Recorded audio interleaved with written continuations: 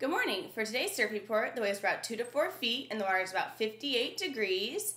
And for the weather, it's looking like rain um, throughout the weekend and continuing into next week. But today, shouldn't expect rain until later this afternoon and it's about 65 degrees. Good morning. For today's surf report, the wave is about 2 to 4 feet and the water is about 58 degrees. And for the weather, it's looking like rain um, throughout the weekend and continuing into next week. But today, shouldn't expect rain until later this afternoon and it's about 65 degrees. Have a great day and see you on Monday. Have a great day and see you on Monday.